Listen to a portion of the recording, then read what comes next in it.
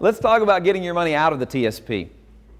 You can borrow your money up to $50,000, up to half of the balance of your TSP. That's the max rate. You know what the TSP loan rate is right now? About two and a half, somewhere around two and a half percent. Cheap money. Uh, it's better not to have debt, but if you have debt and you're paying 20% somewhere along the line, maybe a transition may be good to get that lower rate. But if you do, if you pay off credit card with your TSP loan, you got to get rid of the credit card. Don't go back.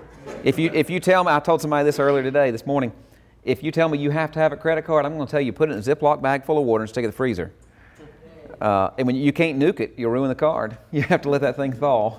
so, you have the loan provision, you have financial hardship, but if you do that, you can't contribute for the following six months.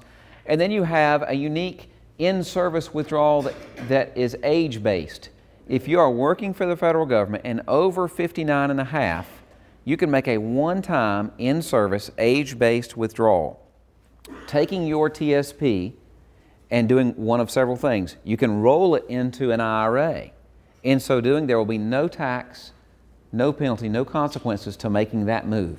You can still contribute to the TSP, you can still get your match, everything stays the same. You just now have an alternative investment to the TSP in the form of an IRA or Roth IRA if you're contributing to Roth TSP.